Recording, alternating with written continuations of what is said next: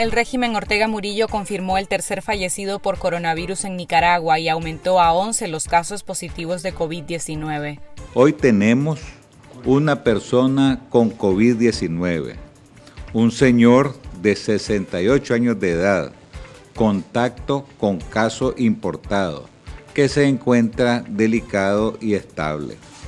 Por otra parte, el señor de 58 años de edad, contacto con caso importado y paciente diabético e hipertenso, presentó esta mañana una complicación aguda e inesperada que lamentablemente condujo a su fallecimiento. El MINSA también informó que hay 15 casos sospechosos y sostiene que no hay transmisión comunitaria. El Comité Científico Multidisciplinario para el Abordaje del Coronavirus destacó que con este fallecimiento Nicaragua tiene una tasa de mortalidad del 30%, la más alta del mundo. Las cifras oficiales nos están diciendo a gritos que algo grave está pasando y que por tanto tenemos que tomar todas las medidas de prevención para evitar más contagios. Entre más enfermos, más complicados y más muertes ocurrirán. A pesar del avance de la pandemia y el llamado de la Organización Mundial de la Salud al distanciamiento físico, el gobierno sigue organizando actividades masivas.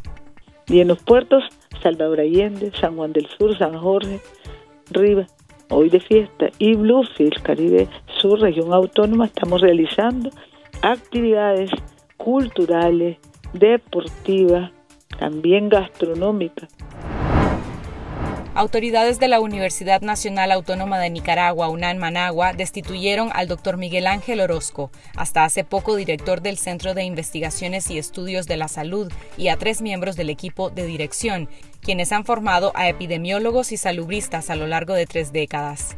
Orozco había brindado declaraciones a medios de comunicación sobre la efectividad de la cuarentena obligatoria y el cierre de fronteras para enfrentar la pandemia de COVID-19, medidas que el gobierno se ha rehusado a tomar.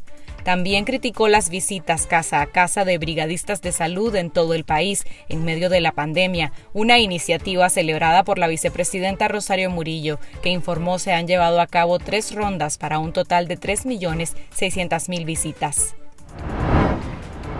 La Asociación Médica Nicaragüense manifestó su preocupación por el personal de salud del sector público ante la pandemia del coronavirus.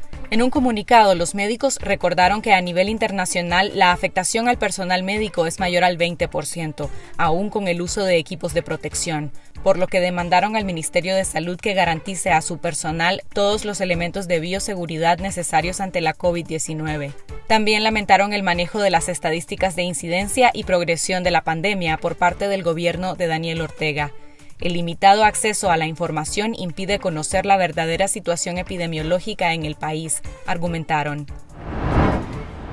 El Consejo Superior de la empresa privada anunció una lista de 315 acciones de cara a la pandemia de COVID-19 que han realizado y continuarán ejecutando en educación, prevención, protección de personas y empleo, apoyo social y divulgación. Entre las acciones implementadas para evitar el contagio del virus están el teletrabajo, horarios diferidos, distanciamiento social, uso de canales electrónicos y elaboración de mascarillas.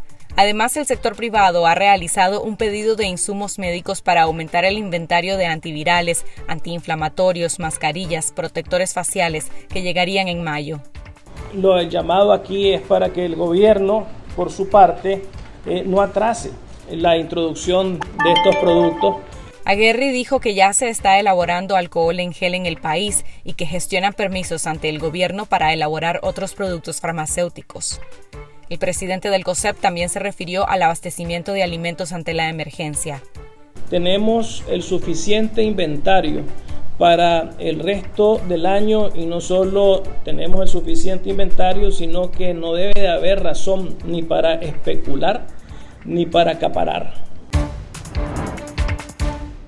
Dos años después del inicio de las protestas sociales de 2018 no se han hecho avances tangibles. Reiteramos nuestro apoyo al pueblo de Nicaragua en sus necesidades y aspiraciones. Es el tuit de Joseph Borrell, alto representante de la Unión Europea para Asuntos Exteriores y Política de Seguridad Común. En un comunicado, Borrell manifiesta que no hay avances de democracia ni de derechos humanos en Nicaragua y que por el contrario continúa la represión estatal.